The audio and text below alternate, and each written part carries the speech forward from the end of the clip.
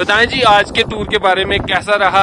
और इस वक्त हम बिल्कुल नंदन सर पहुँच रहे हैं डिस्ट्रिक्ट एडमिनिस्ट्रेशन और टूरिज़्म डिपार्टमेंट ऑफ़ जम्मू के लिए। ट्रैकर का सपना है लचोली पूछ में नंदन सर को एक्सप्लोर करने का। जी। और मैंने ये उम्मीद नहीं की होगी कि जून चल रहा है और ये नंदन सर आप देख रहे हैं मेरे पीछे बिल्कुल जमी हुई है। जी। मुझे लगता है कि ये यूरोप का कोई भी लेक होगा उससे कम नहीं है? सिर्फ़ डिफरेंस ये है कि यहाँ पे इंफ्रास्ट्रक्चर का सपोर्ट गवर्नमेंट की तरफ़ से टूरिज़्म डिपार्टमेंट की तरफ़ से बहुत सारी स्कीम्स बनी लेकिन अमल में एक भी नहीं आई।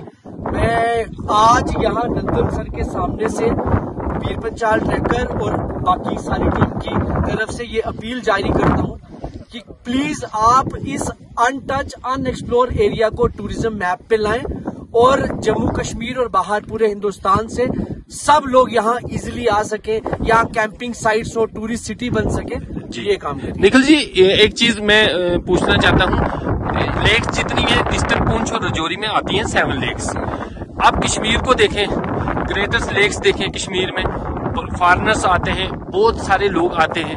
लेकिन क्या यहाँ फंड्स की कमी है टूरिज़्म डिपार्टमेंट को? क्यों नहीं इंटरेस्ट यहाँ दे रहे हैं?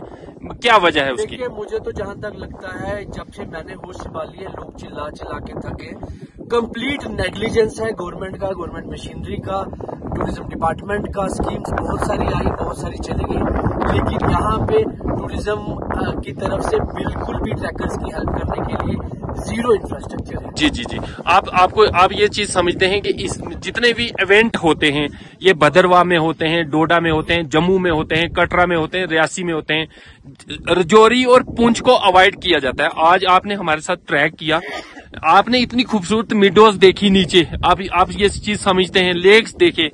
क्या डिपार्टमेंट ऑफ़ टूरिज़्म को यहाँ पे इंटरेस्ट लेना चाहिए? मैं आज अपील जारी करता हूँ डिस्ट्रिक्ट एडमिनिस्ट्रेशन रजौरी और डिस्ट्रिक्ट एडमिनिस्ट्रेशन पुंछ को कि काइंडली आप नोट करिए।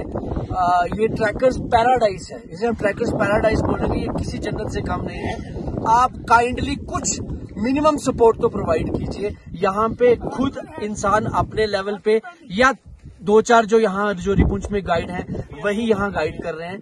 प्लीज़ आप इसको टूरिज़्म मैप पे लाइए, जल्द से जल्द, ताकि बाकी लोग भी इस सुंदर सी लेक्स को एक्सप्लोर करें और जो लोग ये वीडियो देख रहे हैं मतलब देखेंगे, जो भी, क्या उनको ये वीडियो शेयर करनी चाहिए क्योंकि बाहर के लोगों को पता चले और कम से कम लेक्स के बारे में तो लोगों को पता चले। देखिए जो ये लोग वीडियो देखेंगे मैं उनसे ये ज़रूर अपील करूँगा कि आप इस ब्यूटीफुल लेक को ज़रूर शेयर कीजिए ताकि बाकी लोगों को भी जिनको वैसे तो मैक्सिमम लोगों को पता है पर जिनको नहीं पता है उनको भी पता चले पीर पंचाल की मैं एक बार फिर बता दूँ ये चंदन सर है जी चंदन सर की बैक साइड में चंदन सर पूरा फ्रीज है इसकी बैक साइड में हंडू सर बाग सर और वो जो 22 लेक हैं वो इसकी बैक साइड में है।